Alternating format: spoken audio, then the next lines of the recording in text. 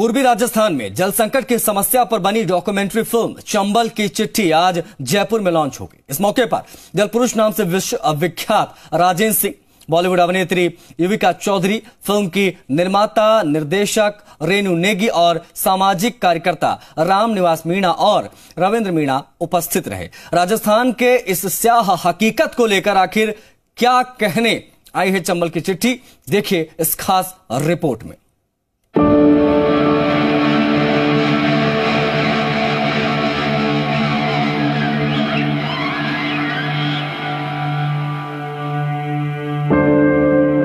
प्यासा है राजस्थान।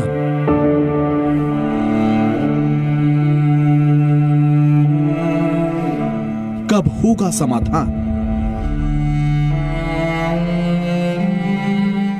पानी की आस।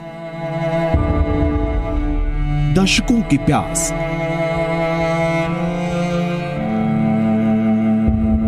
पूर्वी राजस्थान में जल संकट की भयावह तस्वीरों को दर्शाती, यह है डॉक्यूमेंट्री फ़िल्म। चंबल की चिट्ठी।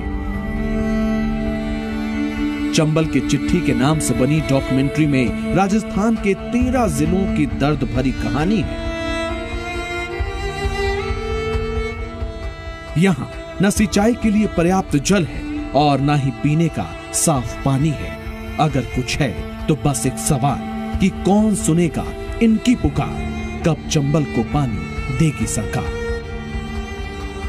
दरअसल चंबल की ये चिट्ठी न सिर्फ़ पूर्व की सरकारों की लापरवाही को सिर्फ़ दर्शाती है, बल्कि इसमें छिपा है वो समाधान जिससे समृद्ध और खुशहाल हो सकता है पूर्वी राजस्थान। जो जो पूर्वी राजस्थान की कैनाल परियोजना है, उसको हम यदि पानीदार बनाना चाहते हैं पूरे भारत को तो पूरे भारत में ये भी तेरह राज्य हैं तेरह ज़िले हैं।